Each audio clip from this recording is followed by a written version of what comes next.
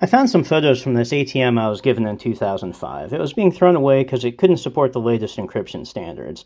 I got the combination, keys, documentation, and even the original receipt because it was going to cost the owner money to have it hauled off.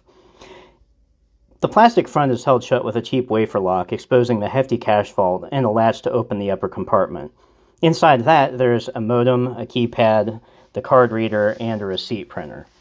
The combination lock on the vault allows the bolt work to be withdrawn so the door can be open.